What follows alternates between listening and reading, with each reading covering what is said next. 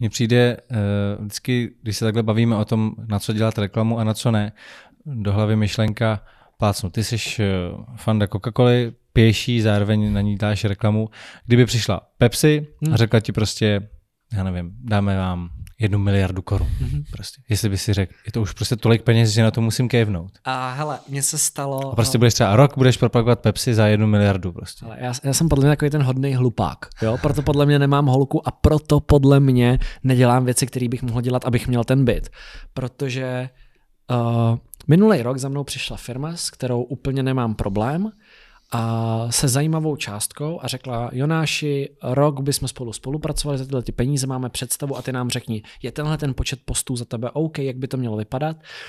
A já říkám, je to všechno skvělý, ale pro vás bude efektivnější, když se ozvete tomuhle člověku, pro on za tu cenu, kterou mi chcete dát, osloví daleko víc lidí, kteří jsou blíž vašemu produktu.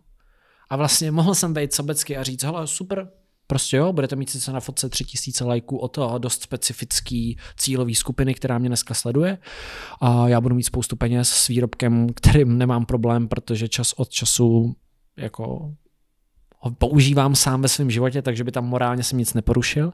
Ale zase z pohledu té firmy, když už chtěli dát tenhle nemalý peníz, jsem si říkal, hele, karty na stůl, jestli o mě stojíte, vážím si toho, děkuju moc, ale projeďme si tímhle programem tenhle profil, porovnejme to s mým profilem, vidíte, že tohle má pro vás jako daleko efektivnější věc, nevyplatí se vám dát jako ty prachy jemu, podepsat to s ním na ten rok.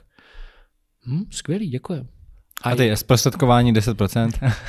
A, tak hele, nájem se neplatí dobrým slovem a já si myslím, že i tenhle přístup je přesně to, jak jsem říkal, z dlouhodobého hlediska se podívat na to, to co dělám, jestli souhlasí s tím, kde chci být.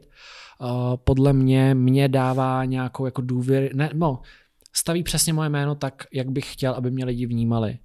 Že nechci být vnímaný jako ten kluk, který se obohacuje uh, na něčem jenom proto, aby měl peníze a mohl si fotit to drahé jídlo jako všichni influenceri a cestovat, ale spíš chci, aby když si někdo na mě vzpomene a řekl, hele, zavoláme Jonášovi, protože vždycky to, co řekl, bylo smysluplný a sedělo k té věci, takže mu pojďme zavolat. A jasně, možná za to budu mít daleko méně peněz, protože jenom něco zprostředku, jenom něco doporučím, dám nějakou myšlenku, ale v konečném důsledku uh, jsem fakt rád, že to proběhlo takhle, protože nestydím se podívat ráno do zrcadla řekl si, jo, mohl být bohatší a dívat se do zrcadla v 5 plus 1 někde na, nevím, co je nejdražší, Takže- na Praze 1. Takže od, odpověď na tu otázku, na ten konkrétní příklad třeba s tou Pepsi, tak by byla jako, že bys to nevzal. Ne, určitě ne.